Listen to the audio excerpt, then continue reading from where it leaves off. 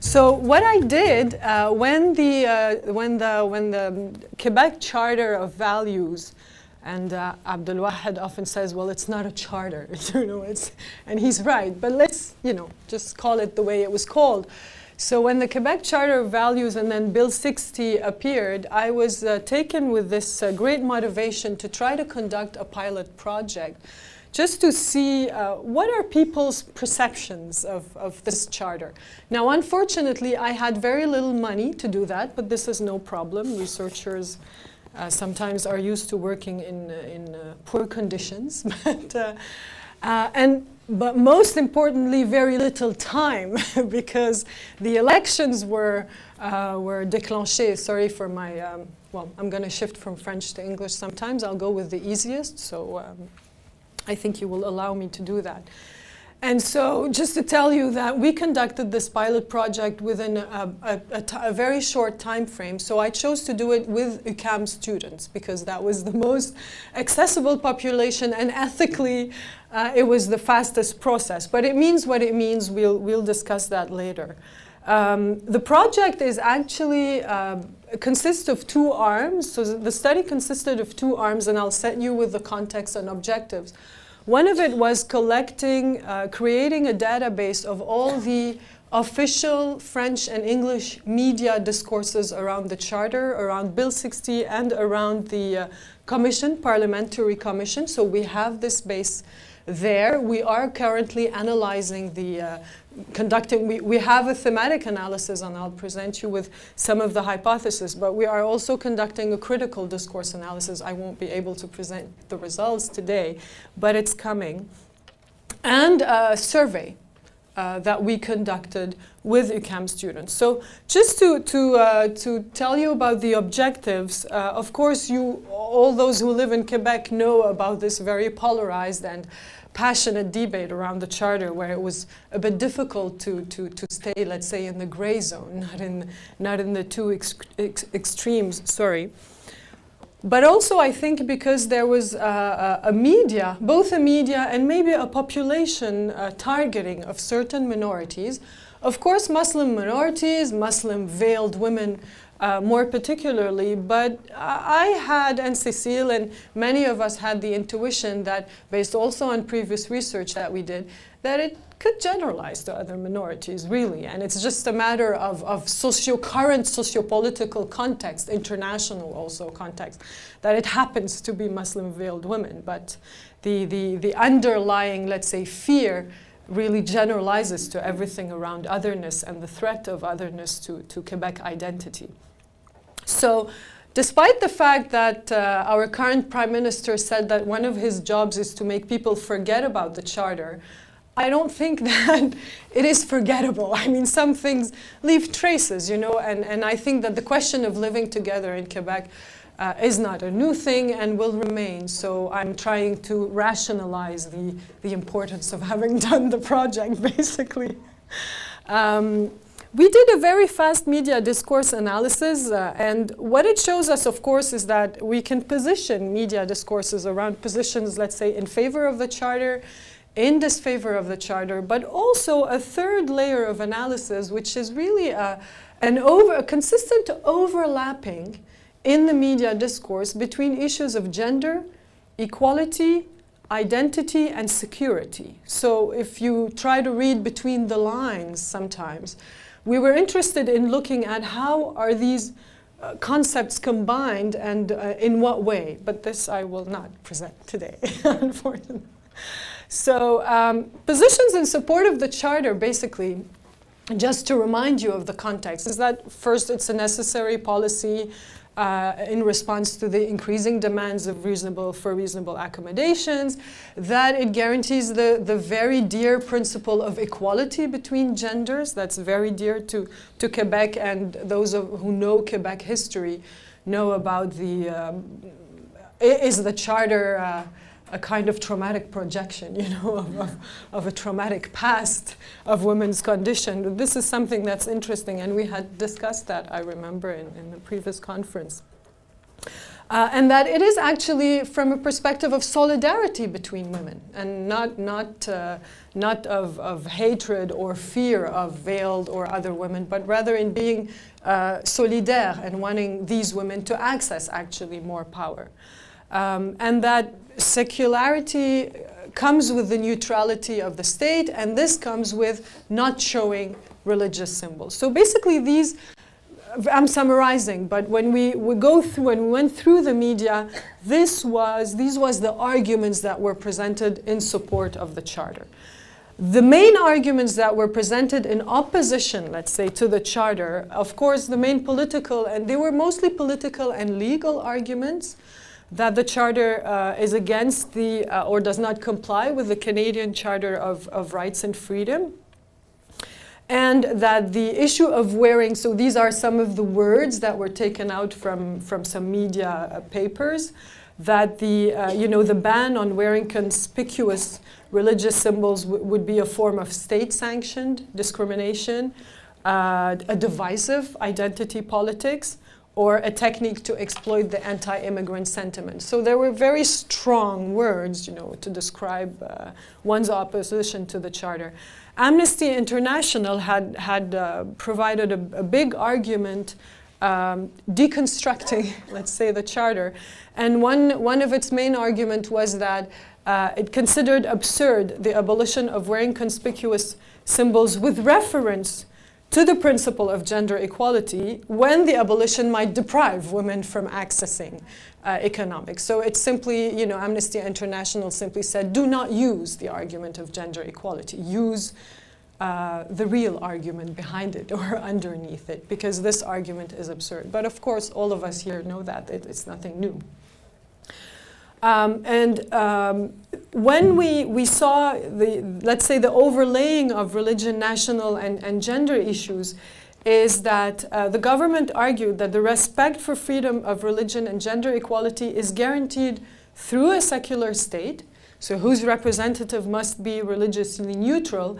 And then I read this wonderful text from Wahid, uh, and I'm taking this from him, uh, who, who is referring also to, to other authors discussing the issue of Catholic secular, secularism. And I have to admit that personally, it was like the light bulb. Uh, I, yes, because I, ha I hadn't thought about it this way, meaning that um, what figures to the majority group as neutral is actually not neutral. It is the inheritance of the transformation of Catholic identity and the way that Catholic identity, I mean, Catholic talking about generally the, the French majority because the English Quebecers are more Orthodox than, than Protestant, sorry, than Catholic. But the way, let's say, uh, that modern Catholicism or modern Christianity within the dominant majority group is being expressed. And one of, one of this way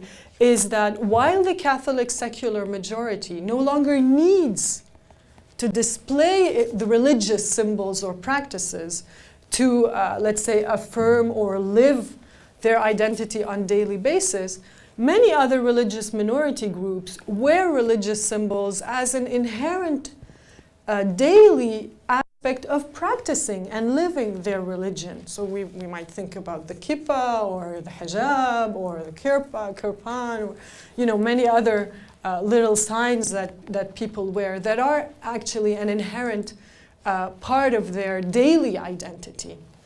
Uh, and so this kind of, you see that, I'm, I'm not going deep into it, but I think you see the overlaying of, of issues of how identity is, is expressed and in relation to religion.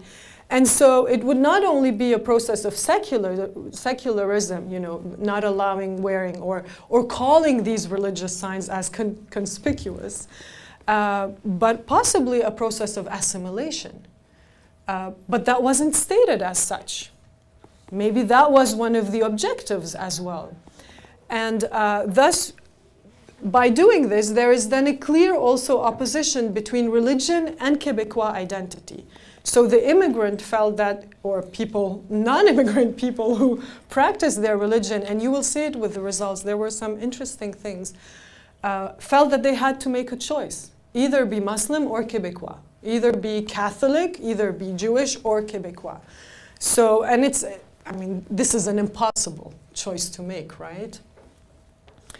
Um, so I thought that, well, maybe I can, in a very humble, exploratory fashion, so it's really very uh, pilot data, try to see what young adult, adults really think, not just the media people, uh, but young adults, young university students, you know, I teach in a university and I saw that it was part of their on break discussions, class discussions, so it was there. The youth was, were reacting to it.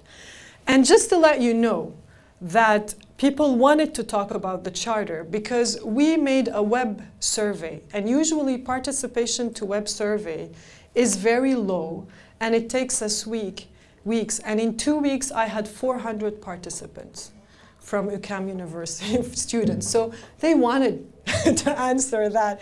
And believe me, it's not because there were 10 you know, prizes of $20 from Co-op UQAM. It motivates them, but this is not the only reason. They often find that $20 is not enough anymore, these students anyway. So. So the sample consists of undergraduate students and uh, 441 participants. Uh, I'm just presenting you a quick look at the sample because I think you need to know that, well, it's uh, predominantly born in Canada, so you have to look really at this to get a very quick picture of the sample, and uh, predominantly citizens and of self-identifying as Quebecois slash Canadian.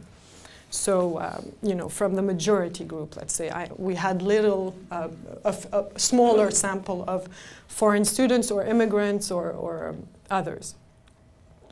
Um, just, you know, do you want me to go in details about the methods or I simply skip it, right? It would go faster. Trust me, I did it in all the good rules of research. Um, so I'll I'll uh, go quick on some results and take a little bit more time for, for those results that mean more to me. But first of all, uh, most of the group identifies as relatively knowledgeable of the charter. So I said, okay, you know, this is, they will give me reliable subjective perceptions. They have read a bit of the charter, they know what I'm talking about. And around 50% is in disfavor. So I have a nice group of you know, a gradation of position or opinion toward the charter, which is interesting because then our results may mean a little bit more than if we had only one, you know, one group in one extreme. So um, one of the interesting results, these are simply descriptive, really, statistics, so they, they are frequencies. But one of the interesting results is the answer to since the charter. So all these questions were since the charter, have you, okay, you know, experienced more discrimination, or have you, uh, have you been wearing more religious symbols? Have you, have you, do you have the feeling of being Quebecois? Do you have the feeling of being Canadian? Do you have the feeling of being uh, part of an ethnocultural community, etc. Minority, I mean, and uh, I just want you to look at the numbers that I highlighted, but you can also choose that other numbers are relevant and tell me your opinion about it. But a, a lower expressed feeling of being Quebecois in a dominant Quebecois sample. You know, so this is, this is uh, quite interesting. And also more feeling, you know, speaking more about religion, of course, which is interesting, a secular society, yet dominantly religious discourse. So you know, there's, a, there's an interesting paradox. We talk a lot of what we don't want to talk about. So. And um, you know, more having the feeling of being Canadian rather than Quebecois. So that's, that's, there's an interesting, these are interesting data to, to go deeper. So this is the exploratory, and then I look at those interesting results to dig deeper into them afterwards. Uh, what is interesting to me is the, the impact of charter on identity awareness, but as perceived by others. So the question is, since the charter, do you feel that you are perceived differently? And uh, I think we have a good number of people who say yes. So for, for me, these are interesting numbers. They're still lower than the no or even equal to the don't know. But still, when you have 26 or 27% of a sample who of 400 people who tell you that they feel that they are perceived differently, then I think it's an interesting thing to, uh, to look to dig deeper into. Now we have qualitative answers and we are currently analyzing them. So we're asking them, you know, when you differently, what is it about? Could you tell us a little bit more about it? And interestingly, people really filled in those empty spaces that we never fill, right? When we get an opinion questionnaire. Um, and uh, in terms of questions around inter-community relations, um, the, the answer to the question of you, ha, has it has it since the charter is there a change in your perception of ethnocultural groups or religious groups? Uh, when they say yes, they answer that well half of the sample of those who said yes say that their perception of the Quebecois cultural group has changed. So this is very interesting in terms of minority majority, in terms of identifying too, in terms of you know integration issues. Uh, but when there is a religious group that is perceived differently, it's mostly Muslims that are perceived differently. Now, I ha don't have the full qualitative uh, data, so I can't tell you how, in what ways they have been perceived uh, differently, but we can, you know, we can just brainstorm around it if you want.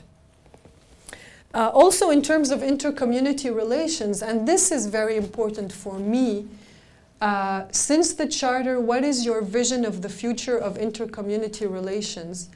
Before the charter, 10, 10% of the sample reported that they had a negative perception, and since this charter, this increased to 51.7%, which is really a very big number. We're talking about university students, usually pretty optimistic, active uh, students who have this still illusioned passion that they can actually change the world uh, before they get disillusioned. so that's, that's quite, you know, that's quite interesting. It would be interesting to do a study post non-charter to see if this perception has changed to a more positive one. But it does, uh, you know, it, it, does speak of, of the situation. Forget about this red thing here. At, I'll, um, they were uh, uh, actually most of the associations were significant. Well, simply to tell you that um, you know the more positive people who had more. I mean, this is this is logical. People who had more positive perception of the charter reported more positive perception of future of inter-community relations. Uh, you know, uh, few, uh, reported less discrimination. However, people who had more positive perception of the charter had a more negative perception of the veil. And so there is, I mean, we were not hallucinating, there is a link between the charter and the issue of Muslim veiled women, because, you know, I'm a Muslim woman, I'm not veiled, so, so I'm okay. Or I often get the answer of, well, you're not like them, you're not, you're not, like, you're not a typical Muslim. Well, you know what, maybe I am, you know? Who knows? So, um, in terms of comparative data, I found that in this university, sample, males had a more positive perception of the charter and a more negative perception of, uh, of the veil, of veiled women. Uh, whereas females had a more negative, a slightly more negative perception, but the results are significant. And of course, uh, those born in Canada had a more positive perception uh, of the charter and reported less discrimination. So actually, when the score is higher for discrimination, it means less because we, we oriented all towards positive scores. Uh, citizens also reported lower levels of discrimination than non-citizens. Those who identified as Quebecois Canadian reported lower, lower levels of discrimination and uh, a better perception of inter-community relations, or let's say we're more optimistic about the impact of the Charter on community relations.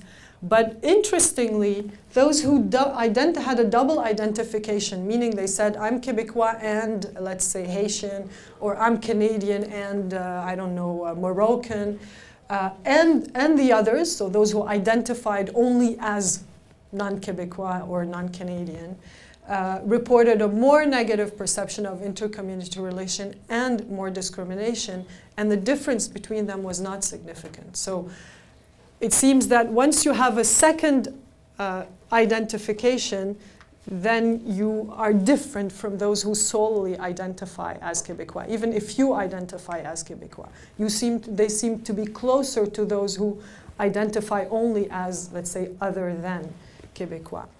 And this is where I want to attract your attention. Uh, actually, a big proportion of the sample uh, to the question of uh, to what to which religious groups you identify answered that they were agnostic atheist and their score comes out as different from the catholic and those who identified others muslim uh, zoroastrian uh, uh, jewish and they had a better perception of intercommunity relations lower perception of discrimination. And what I want to attract your attention to is that the difference between those who identified as Catholic and those who identified as from another religious group was not significant, meaning that the religious practicing or the majority who identified as Catholic also felt dissatisfied with the charter. And this is very interesting because it seemed to be more um, let's say I'm exaggerating by saying, but like an atheist project, you know what I mean? But it isn't. But it seemed to satisfy mostly people who identify as being uh, agnostic or atheist. And the, the Quebecois Catholic, or those who identify as such, felt a little bit threatened also by the charter. I think it's interesting to attract attention to these results because it helps unpolarize the debate, you know, between Muslim minorities and you know Quebecois majority. Even the Quebecois majority situation is more complex than we think regarding the charter. So these quickly are uh, generally the, re the results of this pilot project. Of course, as I said, we're still in the, the critical discourse media analysis and there is qualitative um, analysis of, of uh, participants' comments that we are going to add. So it will add kind of flesh to the bones. But if I, I take with you the, the results that I feel we should dig on or we should discuss, First, keep in mind that it's you know a predominantly French Quebecois Canadian sample, so it, it should be, if we had the time to redo it, of course we would do it with a more representative sample, you know that.